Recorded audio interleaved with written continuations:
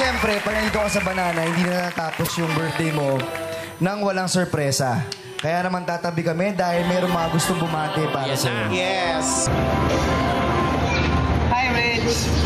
Happy, happy birthday sa'yo. Uh, alam ko, ah, sobrang uh, tagal na natin kaibigan at uh, love na love ka ng family mo at mahal na mahal mo yung uh, trabaho mo dito sa industriya.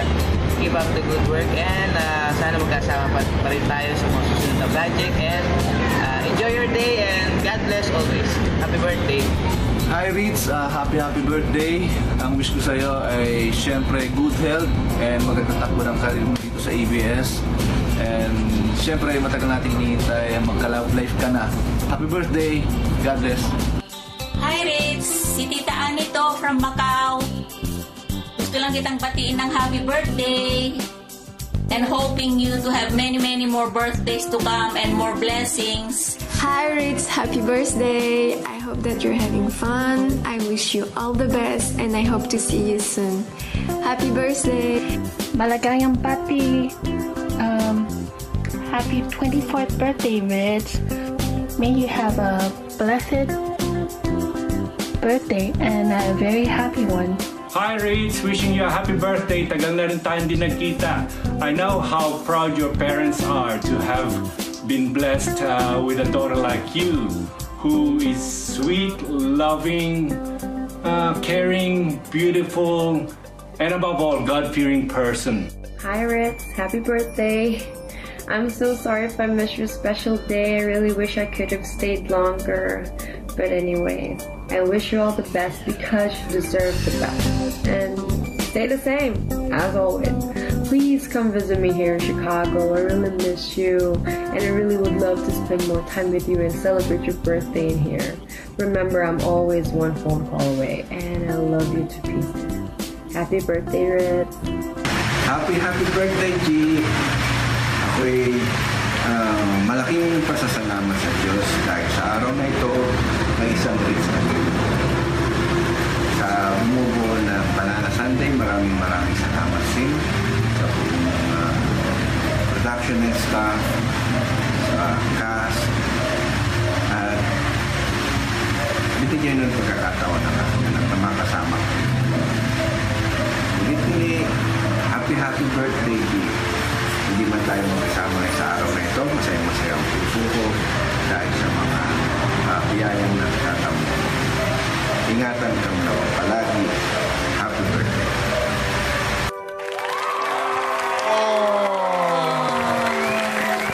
And Rich, dahil nakita mo na nagbigay sa'yo ng mga messages yung mga mahal at importanteng tao sa buhay mo, ah, gusto mo ba silang pasalamatan or may gusto kong pasalamatan? Ayan. The floor is yours. Hindi ko kaya magsalita. Walang hindi umiiyak dito. Bakit kailangan palagi umayak pag ganito? Um, pasensya na kasi namimiss ko yung magulang ko. First time kong hindi sila makasama sa birthday ko. Um, ah, Unang-una, syempre, nagpapasalamat ako sa Banana Sunday family sa pag-ampon sa akin. Um, sobrang sarap sa feeling na magkaroon ng pamilya kasama kayo. Totoong mga tao. Alam natin na mahirap sa industry ang makahanap ng ganito.